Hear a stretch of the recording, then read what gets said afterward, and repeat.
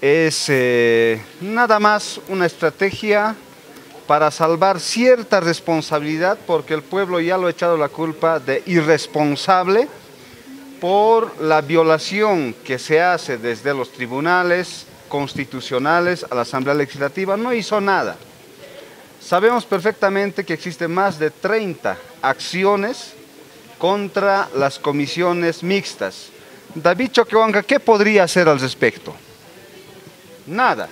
Simplemente esto es para mostrar a ustedes, a los medios de comunicación y a la población boliviana para decir que David Choquehuanca está preocupado por el tema de las elecciones judiciales, así mismo como se ha manifestado el presidente Luis Arce Catacora. En el fondo, créame, o no, la reunión no va a terminar en nada. No va a terminar en nada. Por eso nosotros dijimos, antes que esto continúe, ya en la resolución o en la modificación de ley que yo he planteado en su momento, colocar un artículo para que nadie interrumpa. Eso desde luego no hay. Por tanto, se va a subsanar una acción que se ha interpuesto, vendrá otra, porque ya está coordinado por el ministro de Justicia, asimismo por el Procurador General del Estado. Están en cadena, va a firmar un abogado, otro abogado para seguir perjudicando. Creo que el gobierno está yendo en la línea de su planificación como ha, como ha ido viendo desde el inicio para perjudicar esta elección de las autoridades judiciales. Eso yo puedo decir al respecto. Repito, no va a tener ningún resultado positivo. Es simplemente para que la población vea de alguna manera que David Choquehuanca se preocupa por esta situación de las elecciones judiciales. Esa es su lógica, diputado. Andrónico, Rejas y Padilla no deberían asistir a una reunión sin sentido.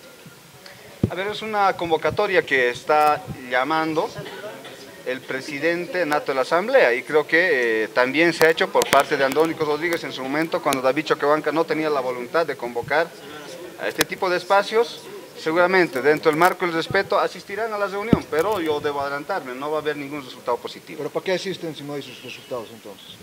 De parte de los revistas por lo menos. Bueno, entiendo que algunos medios de comunicación van a insistir en esta línea porque eh, el gobierno obviamente da libretos y nosotros somos respetuosos. Nuestro punto de vista al respecto es lo siguiente. La reunión convocada por Choquehuanca no va a tener ningún resultado positivo.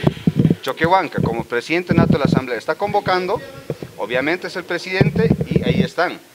Dentro de ello, los convocados y seguramente van a asistir como corresponde. Diputado, las elecciones judiciales están rumbo al fracaso, diputado. diputado.